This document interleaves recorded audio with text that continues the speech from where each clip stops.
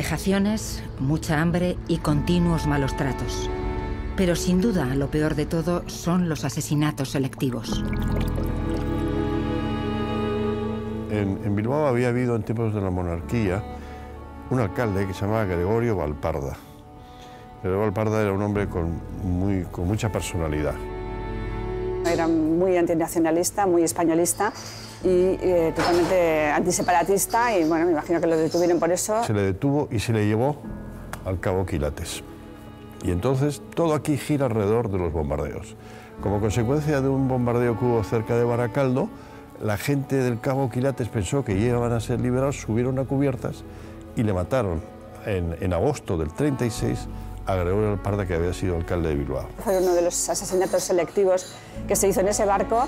Le dieron una paliza y lo mataron de la, de la paliza. Estoy hablando de agosto del 36, es decir, que había mucha tensión